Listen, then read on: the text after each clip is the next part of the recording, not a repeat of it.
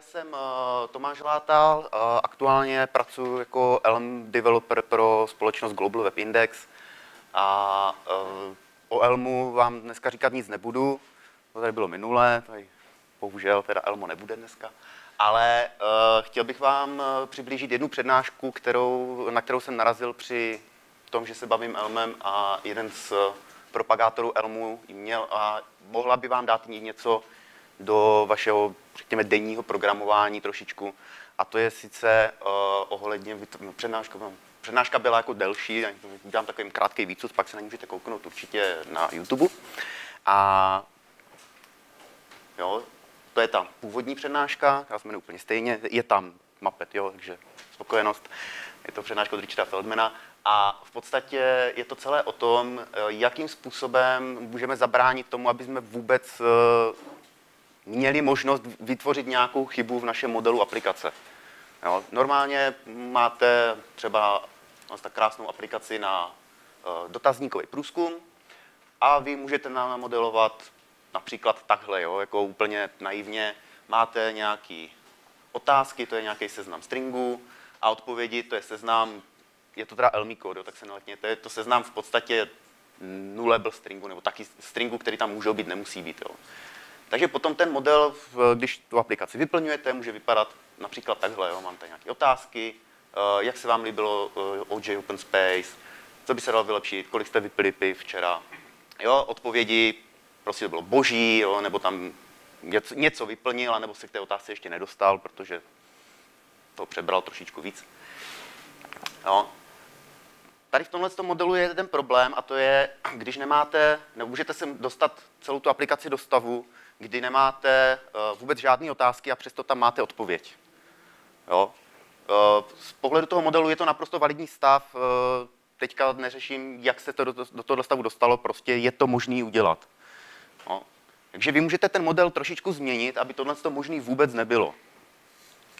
V tomhle případě je to hrozně jednoduchý, ne, nebudete, dělat, jako, nebudete mít oddělený seznam otázek, seznam odpovědí, budete to mít všechno takhle tak pod jednou strukturou. Ve svém modelu si budete udržovat jenom uh, seznam otázek no, a se vám to nemůže stát. Problém je, že i tady přes to vám přijde no, nový požadavek. Jako je to hezký, můžeme vyplňovat otázky, ale chtěli bychom zobrazovat jenom jednu otázku a pohybovat se jako dopředu, dozadu, nějak jako, aniž bychom to celý odesílali. Jo, takže co s tím? Tak fajn, tak v tom původním modelu bylo jako seznam otázek, krásný, tak ještě teda přidáme jako tu, kterou máme jako teďka aktuálně a nějakým kódem kolem se budeme pohybovat tam a zpátky. Tako, jo. Takže ve výsledku to může dopadnout takhle. Máme tady nějaký seznam otázek uh, ohledně celé akce, jídla, nějaký tolku. Aktuálně ten uživatel má teďka vybraný prostě otázku na jídlo. Krásný. Problém je, že v tomhle modelu té aplikace zase můžete mít, v podstatě nemusíte mít žádné otázky a přesto jako tady máte nějakou aktuální jako food, No a teďka jako uživatel to vyplní a co se stane? Jo? Prostě v aplikace vám spadne, protože tady jako neví, kam, nevíte, kam pokračovat. Takže co s tím? Aby jsme měli aspoň jednu otázku, aby jsme měli jako z čeho začít, tak můžeme ten model zase trošičku pozměnit. Uh, přidáme tam first, což bude přímo otázka, others, což bude seznam otázek a current, což bude konkrétní otázka. Pokud budeme mít ten model takhle, tak vlastně v rámci celé té aplikace my nemůžeme napsat, uh, se nemůžeme dostat do stavu, kdyby jsme tam neměli aspoň jednu otázku, protože by se nám to neskompilovalo.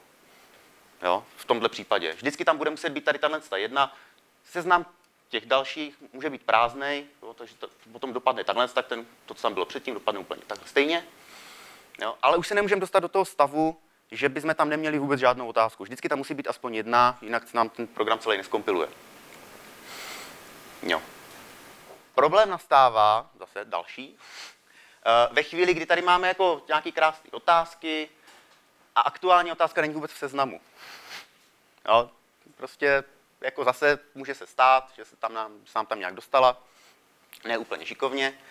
Uh, co s tím?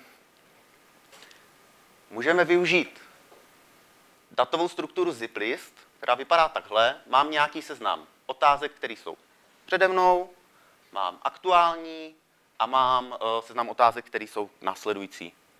Zase, kompletní seznam všech otázek můžu dostat, takže spojím tenhle seznam, tenhle prvek a tenhle seznam, mám celý pemzum otázek, můžu s nimi pracovat, jak uznám za vhodný, ale už se nám nemůže stát, že nebudeme mít žádnou otázku, protože vždycky budeme mít tu, která je aktuální, ta tam být musí. A když bude úplně, úplně nejhůř, tak to vlastně může dopadnout jenom takhle. No. Ale nedostaneme se do stavu, kdy uh, nedostaneme se vlastně do žádného toho stavu, který tam byl předtím. Všechny ty stavy jsou v podstatě nemožný. Nemůžeme se, nemůžeme se k ním absolutně nějak dostat. No, což uh, za mě je mnohem, mnohem lepší, než uh, mít trošičku se zamyslet nad tím, jakým způsobem modelujete stav aplikace, je lepší, než psát tuny testů na uh, nějaký okrajový případy, tak abyste je ošetřili, aby vám nenastávali. Jo, takže za mě určitě jako mít testy je fajn, ale nemít možnost vůbec jako tu chybu udělat tím, že mám dobře navrhnutý datový model, uh, je mnohem lepší. Jo, všechno. Dík.